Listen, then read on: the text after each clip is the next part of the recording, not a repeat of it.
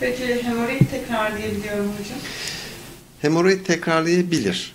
Kabaca bunu söyleyeyim ama şöyle düşünün. Makat yuvarlak bir yer. 3-4 tane hemoroid paketi olur. Şimdi doktor diyelim ki bir tanesini ameliyat yaptı ama bunlarda hiçbir şey yok. Evet. O zaman bunlara genelde dokunmaz.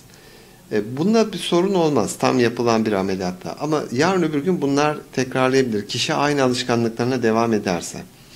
E, Biz de son dönemde ben çok lazer kullanıyorum örneğin. Tam, o, e, bu lazerle hem bunu ameliyat yaparken diğerlerine de atışta bulunuyorum. Sorun olmayanlara da. Böylece onları da bir koruma altına almış oluyoruz. Ee, ama iyi yapılan ameliyat bir de kişinin yani yaşam alışkanlığını değiştirmezse şimdi ondan oldu ya bu hemoroid. Yani mesela dediğimiz gibi beslenmedi. Ne bileyim çok uzun tuvalette kaldı. Adam yaptı bunu ya da kadın kendi alışkanlıklarıyla. Dolayısıyla siz ameliyatı yaparsınız. Düzelir, iyileşir. Bununla ilgili de eğitim vermeye çalışıyorum insanlara. E, Çünkü aynısını yaşarsa yine bu sefer zorlanacak, edilecek falan. Yine hemoroidal problemler ortaya çıkacak. Yani dikkat edilmesi lazım.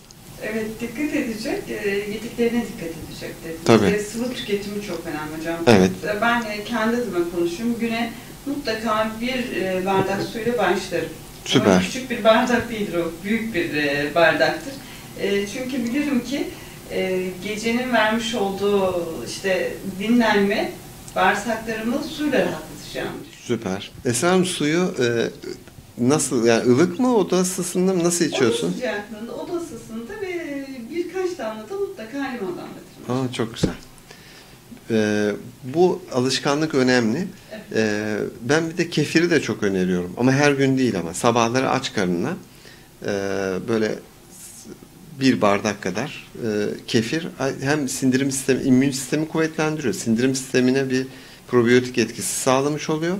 Hem de bir böyle ferahlık da veriyor insana içerken. Bu, bu da önemli. Ama su çok önemli. Herkesin alışkanlık edilmesi lazım yaşta.